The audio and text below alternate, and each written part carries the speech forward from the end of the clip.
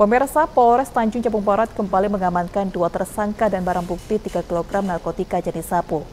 Selain sabu, turut diamankan pil ekstasi sebanyak 4 butir atau 1,12 gram. Kedua tersangka saat ini telah mendekam di balik jeruji Mapolres Tanjung Barat guna penyelidikan lebih lanjut.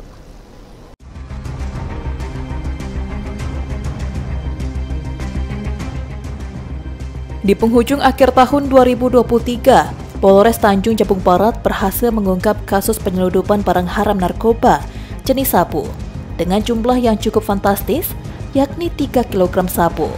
Dari kedua tersangka yang baru turun dari pelabuhan LLASDP Kota Kuala Tunggal. Dalam konferensi pers, Kapolres Tanjung Jabung Barat AKBP Padli mengatakan, ungkap kasus ini berdasarkan laporan dari masyarakat. Berdasarkan laporan tersebut, tim Satres Narkoba Polres Tanjung Barat bergerak cepat guna memastikan adanya sabu yang dibawa oleh salah satu tersangka. Bahkan saat digeledah kedua tersangka sempat gelagapan atau tidak mengakui satu tas yang digembok milik siapa. Bahkan sempat adanya perlawanan dari salah satu tersangka. Pada akhirnya, dua tersangka berhasil dibekuk. Setelah dibuka, di dalam tas yang digembok ditemukan sabu 3 kg yang dibungkus menggunakan bungkusan teh Cina dan pil ekstasi sebanyak 4 butir atau 1,12 gram, serta barang bukti lainnya. Dari pengakuan tersangka, baru satu kali menjalani sebagai kurir narkoba. Bahkan kedua tersangka merupakan satu keluarga atau sepupu. Jika ditotalkan, nilai barang bukti sebesar 3 miliar 902 juta 800 ribu rupiah atau 15.005 jiwa terselamatkan. Tahun 2023 sekira pukul 17.35 WIB. TKP-nya di Jalan Merdeka, RT 3, Kelurahan Tungkal 4, Kecamatan Tungkal Ilir, Tanjung Barat.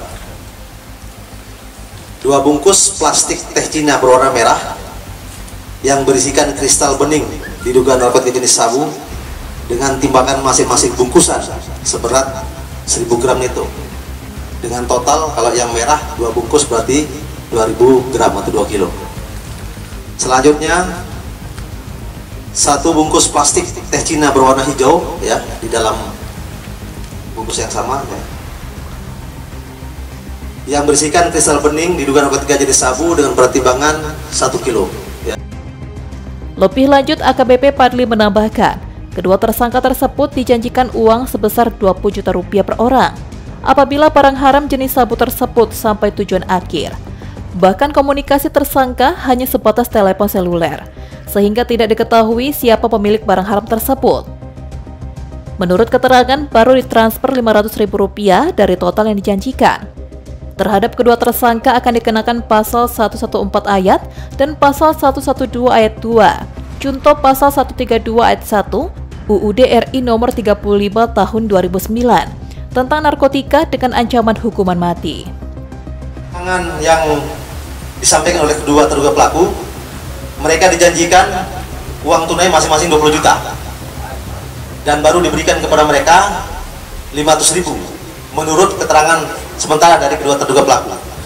Untuk tiket pesawat dan sebagainya itu sudah diberikan jadi langsung dalam bentuk tiket yang diberikan langsung kepada pelaku EB ini.